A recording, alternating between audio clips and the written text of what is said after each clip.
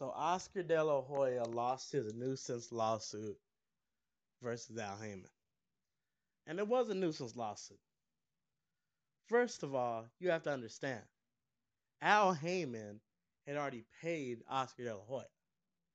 Al Haymon made a payment to get uh, most of his boxers released from Golden Boy. The ones he had under contract, he made a payment.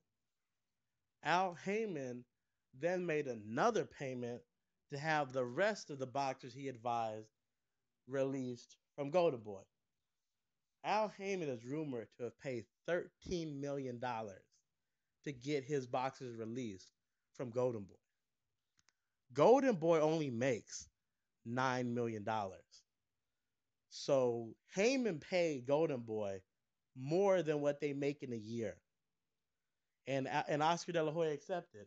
So Oscar accepted payment and then sued. You can't do that. That's like getting into a car accident and you accept payment from somebody and then you turn around and sue them. So in the first place, this, this lawsuit was ridiculous.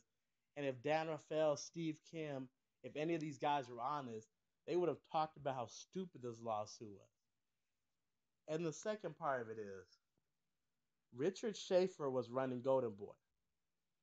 Oscar De La Hoya was in and out of rehab and cross dressing. Those are facts.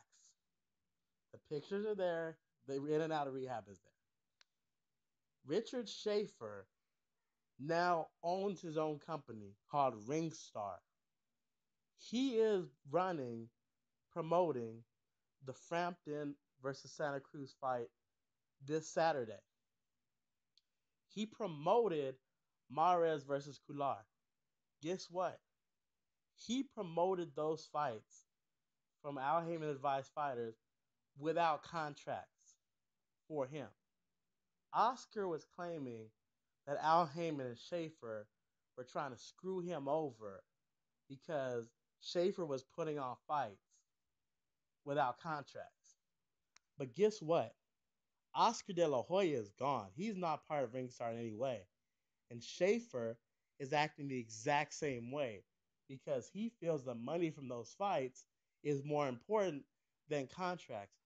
You know, I do feel like Richard Schaefer has gotten a bad rap he wanted to do what was best for Golden Boy, while Oscar De La Hoya was cross dressing, doing drugs, getting DUIs, you know, just embarrassing himself.